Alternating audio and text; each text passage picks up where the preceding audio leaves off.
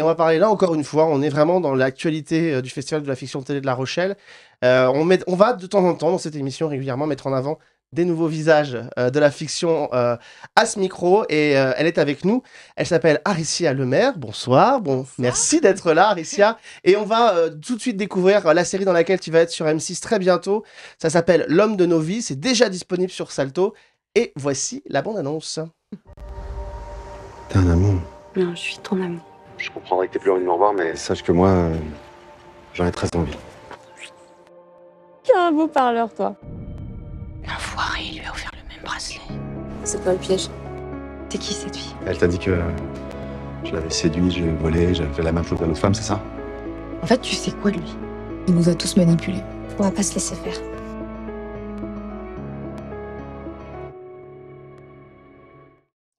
Voilà, Jonathan Zakai incarne euh, un séducteur, c'est le moins qu'on puisse dire, qui aime à collectionner les conquêtes. Euh, il va les multiplier et en même temps, évidemment, jusqu'à les escroquer. Et puis une fois qu'elles sont euh, ferrées et qu'il a pu les dépouiller de leur compte en banque, eh bien, il s'en va et il passe à une autre. et dans cette série, donc on a Odile Villemain, Flore Bonaventura, Elodie Frégé et Elena Noguera. Et Elena Noguera, là, c'est le, c'est le, le- le pépin dans, la, dans, la- dans, la- dans la- dans le fruit. C'est le, voilà, c'est le truc qu'il fallait pas. Elle a une fille et cette fille, elle est plutôt méfiante euh, quant à ce, quant à ce bel âtre qui débarque. Euh, Redis-nous un petit peu comment tu t'es retrouvé toi justement dans ce, euh, dans ce, dans ce rôle-là, dans cette, dans cette fiction-là. C'est ta première grosse fiction, on peut le dire? Oui, oui, c'est ça. C'est ma première euh, grosse fiction, exactement. Ouais. Et du coup, j'incarne Agathe, la, la fille d'Elena Noguera, Mathilde, euh, dans L'homme de nos vies. Et euh, ça a été un, un vrai plaisir de l'incarner et, et une très belle expérience parce que. Comment dire? Je, euh, je m'y retrouvais quand même dans cette jeune lycéenne de, de 16 ans et d'un co- et d'un autre côté, euh, c'était. euh, elle était surprenante, voilà, elle est méfiante par rapport à Jonathan Zakai qui débarque dans, dans sa vie, dans son cocon avec, euh, avec Mathilde, sa maman. Ouais. Et, euh, et voilà, elle va elle-même aussi euh, essayer de, de mener un peu cette enquête. Et, mais, hum, et donc, ça va être, elle va participer à, à cette alliance de femmes, à sa, Cette sororité cette sororité exactement, à son échelle de jeune lycéenne. influenceuse. Influenceuse, exactement. Ouais. Et qui va payer très cher d'ailleurs de se mêler un peu trop près de cette enquête. Oui. Oui, c'est ça. Ah, c'est ça. Donc en, fait, elle garde un peu ses distances, mais c'est hyper intéressant de voir la relation qu'elle a avec sa maman, justement, de voir qui materne qui euh, au final, parce qu'elle est très indépendante et, euh, et elle va essayer voilà, de protéger sa maman. Mais elle a aussi ses projets, euh, voilà, elle fonce, elle a ses têtes brûlées, euh, elle a son, son partenariat qui cartonne. Et malheureusement, euh, voilà, c'est. Elle tombe sur Jonathan son Zakai. bon instinct, voilà, va, va lui coûter. euh, va, va lui coûter. Voilà, alors il faut expliquer, juste pour revenir dans le concept, le, le tournage a eu lieu euh, à l'automne dernier, en fin d'année 2021. Oui. Euh, Jonathan Zakai donc, a, a remplacé euh, Harry Habitant, qui était initialement pressenti pour le rôle euh, au moment où ces les déboires judiciaires sont tombés. Et donc c'est maintenant Jonathan Zakai qui reprend le rôle, qui est un comédien que moi j'aime beaucoup, je suis depuis plusieurs années, parce que c'est un... C'est un type qui peut jouer à la fois le mec un peu border et en même temps le séducteur. C'est-à-dire que c'est pas donné à tous les comédiens de pouvoir être euh, sur cette espèce de ligne, euh, de ligne un peu étroite. Euh, toi, tu l'as vu? Qu'est-ce que tu as pensé de la série? Bien sûr que je l'ai vu. Moi, j'ai vraiment beaucoup aimé. Comme je lui disais, je, je- je m'attendais à six épisodes. Ça aurait pu tenir six épisodes plutôt que quatre. Parce qu'il y a des, des choses que j'aurais aimé euh, voir un peu plus développées, mais parce que j'étais à fond. Quoi. Enfin, vraiment, euh, j'ai j'ai vraiment beaucoup, beaucoup aimé. Et je trouve euh, que du coup, Jonathan Zakai, maintenant, enfin, tu vois, je n'imaginerais pas quelqu'un d'autre euh, à sa place, Ouais. du tout.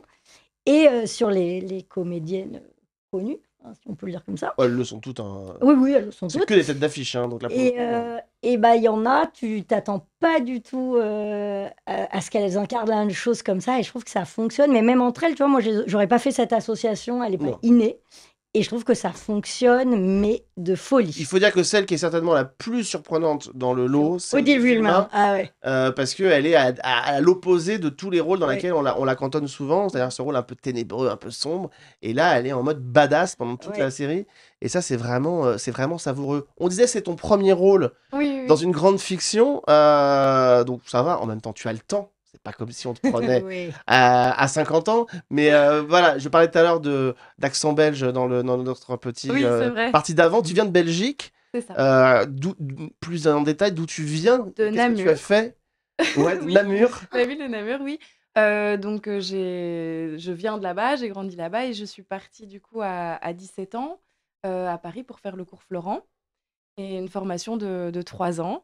Et, et puis maintenant, je, je suis restée euh, à Paris euh, dans, dans les parages et maintenant, je travaille du coup avec euh, mon agent Cartal Temel de l'agence Étoile d'Hermès.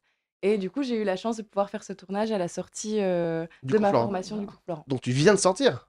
Oui, Du il y a, Florent. ouais, Il y a un an. tout l'automne dernier, voilà. Il y a un an, tu venais de sortir, donc tu, as, tu débarques dans cette série. Mm. Tu as fait un peu, de- t'as fait un peu de théâtre, un peu de court métrage, j'imagine, comme beaucoup de jeunes comédiennes. Oui, voilà, pendant, euh, pendant ma formation, euh, on se lançait en tant que- en tant qu'étudiant dans des, dans des courts-métrages, euh, des petites réalisations, des projets de théâtre. Évidemment, on avait nos projets de fin d'études aussi. Et, euh, et puis, euh, du coup, après, il y a eu ce projet, L'homme de nos vies. Et maintenant, d'autres euh, d'autres projets à venir. Euh, dont on en peut pas parler. Euh, Elle voilà, va en- nous faire- va nous le coup de la comédienne. Non, mais je ne peux pas en parler.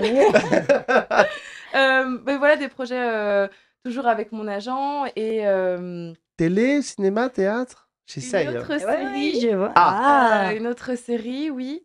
Euh, avec euh, notamment, euh, Dar- enfin, on a déjà commencé à tourner un petit peu. ah oui, donc je c'est fini, donc on peut en parler. je Sans un dire de quoi en ça parle, parler. mais on peut dire ce que c'est. Euh, ça tourne autour de, de, de la boxe, donc c'est dans l'univers de la boxe. Et il y a notamment l'acteur Darko Peric qui joue euh, Helsinki dans la Casa des Papels. Très bien. Euh, donc, euh, donc voilà, qui Ah. sera en tête d'affiche. Et euh, donc ça, c'est pour- c'est à venir, c'est en préparation. Bon, on, en- tu- on en reparlera. Oui, bien sûr. Hein, parce que là, je sens que dans pas longtemps, on va la perdre. Il fait très chaud dans le studio, mais voilà. Elle, elle- elle tient bien. Elle se dit, j'aurais dû opter pour autre chose qu'un pull en laine qui me sert et qui. Voilà, mais bon, écoutez, c'est comme ça. On s'est dit qu'il fallait euh, maintenir cette espèce d'ambiance que- estivale et que c'est euh, et c'est vraiment très plaisant. Voilà, moi je vous invite à, à, à vraiment découvrir l'homme de nos vies sur, euh, sur euh, Salto. Si vous ne l'avez pas sur M6 dans quelques mois, c'est là que nous avons découvert. Alors moi je suivais un peu Aricia sur les, sur les réseaux sociaux, mais c'est vrai que c'est la première fois que je la voyais dans un rôle, dans un rôle à la télé et c'est vrai que bah, je trouve que ça le fait Elle le plutôt joue bien. très très bien. Ouais, et, et qu'elle est pas du tout. euh, c'est pas on- souvent il peut y avoir des fossés qui se créent évidemment avec la jeune génération puis des comédiens plus confirmés et là tout ce Tout- exactement ce que j'allais dire. je- que elles ont- c'est des comédiennes quand même euh, très confirmées puis excellentes. hein, Mhm. Et tu dis c'est ton premier rôle, t'arrives et elle tient tête tout le long. Tu te dis pas, c'est- tu vois, tu te dis pas c'est son premier rôle en fait. Non.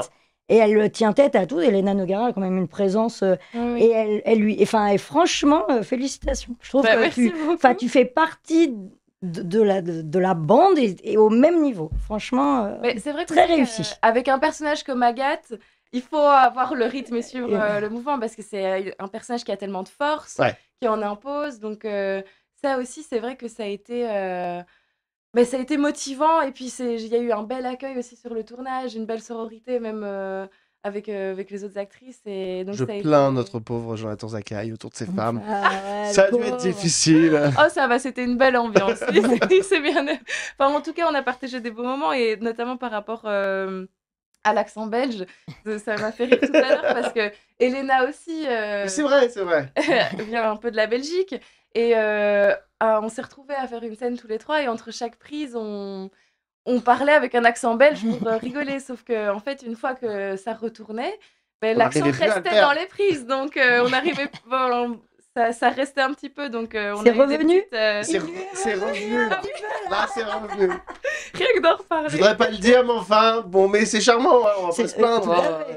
ça donne un peu de, de couleur à ce à à cette ambiance très parisienne donc Oui, euh, oui, non oui. non Mais c'est vrai que même entre les prises, rien que d'en parler et de d'être entre nous, c'est. non mais là maintenant faut arrêter avec l'accent ça suffit c'était drôle 5 minutes mais enfin faut arrêter Euh, Pardon, pardon, non, non, je, je me remets en Surtout position pas. parisienne. Surtout pas. Euh, on rappelle donc l'homme de nos vies sur euh, M6 dans les prochaines semaines. Ça n'a pas encore été euh, annoncé. Euh, mais en attendant, c'est sur Et c'est surtout en compétition au Festival de la fiction télé de La Rochelle. Et je sais qu'on aura l'occasion de recevoir, normalement, je l'espère, Jonathan Zakaï pour en parler. Parce que, évidemment, il a fait tellement de choses depuis, euh, depuis cette première émission qu'on l'a reçu ici pardon, pour euh, Intrusion sur Arte que ce sera un plaisir de l'avoir. Il a fait beaucoup de choses, le garçon, et ce sera, euh, ce sera dans quelques semaines, ici même. Voilà, on arrive à la fin de cette émission. J'espère que vous avez pris plaisir à nous retrouver pour cette euh, neuvième saison. Euh, Vous l'avez vu, cette émission qui va être de plus en plus centrée euh, sur la vidéo, euh, avec ses live vidéos. On va, on va être beaucoup plus présent sur les réseaux sociaux, sur YouTube, en vidéo. Donc, on, on avait envie de pouvoir mettre tout ça en avant pour que vous puissiez vraiment visualiser nos, nos talents et nos invités. Et on espère surtout qu'Aricia, voilà, maintenant, cette fois maintenant, tu es chez toi et tu reviens pour les prochains projets. Oui, oui, là, Deal je- On scène ici Allez, c'est fait. En vidéo. C'est fait en vidéo. Je, je prends pas de risque comme ça. Et, et on t'accueillera en tout cas avec plaisir pour la suite. Merci beaucoup pour l'accueil.